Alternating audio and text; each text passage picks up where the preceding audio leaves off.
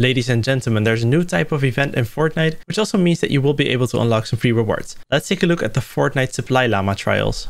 The first thing that you need to do is head over to fortnite.playstation.com and log in. Now, since this is a PlayStation collaboration, this is only possible if you in fact have a PlayStation account, which can be linked to your Epic ID. So just to clarify, when you go to the website that I mentioned before, you need to sign in with your PlayStation account. And afterwards, there might be an additional pop-up, which will require you to log in with your Epic ID. But since I had those linked, it was not necessary for me to sign in twice. The quests themselves look quite easy. You have to survive storm circles to contribute to the community goal. Uh, once you do that, you will receive rewards directly to your Epic and PlayStation account.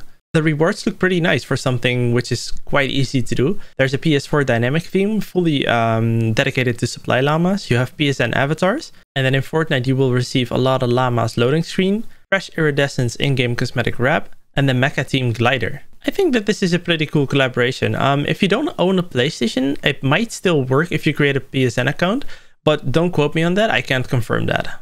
So basically all that you need to do is head over to the website, sign in, and then jump into a game, survive a lot of storm circles, and you will get some nice free rewards. That sounds easy enough. Thank you so much for watching. Leave a like, subscribe, and use code SCORE in the item shop if you enjoyed the video. I'll see you at the next one.